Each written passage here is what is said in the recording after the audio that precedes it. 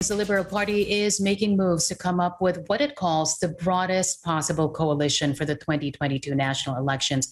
Let's get more details now from Katrina Domingo joins us on the line. Katrina, what else can you tell us? Hi, Carmina. That's right. Uh, Liberal Party President and Senator Kiko Pangilinan told reporters this morning that there have been efforts to reach out to several possible presidential candidates and incumbent senators to create what he calls the broadest unity possible for the 2022 national election.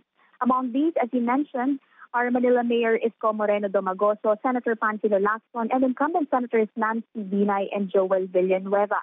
Pangilinan says non-administration leaders and politicians should come together towards a clear direction to stand a chance against the political machinery of the Duterte administration, noting that any administration is a formidable candidate when it comes to campaigns and election season.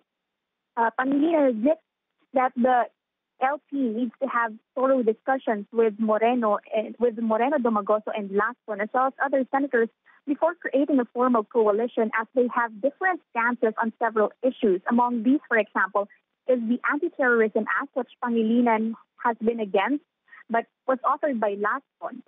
Uh, tells us, Carmina, that even Vice President Leni Robredo is open to is open to having these talks, as he says that we are all in a single boat that needs a single captain.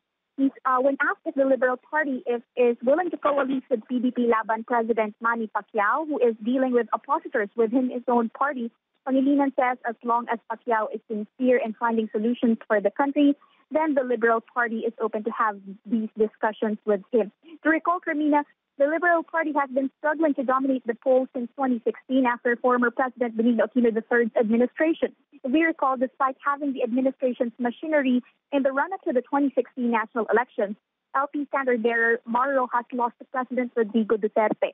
And while Robredo won the vice presidency, her victory was challenged at least thrice by losing candidate former Senator Ferdinand Bongbong Marcos Jr. Now, during the 2019 midterm polls, Carmina, the LP-backed Ocho Derecho opposition slate was wiped out in the senatorial election.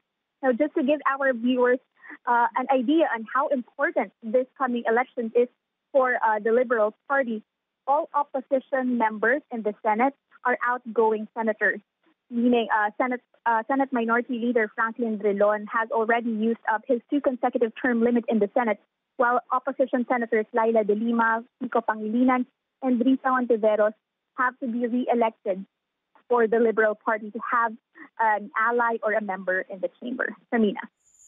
All right, very interesting development right there. Katrina Domingo there joining us on the line. Thanks, Kat. Keep safe. Take care.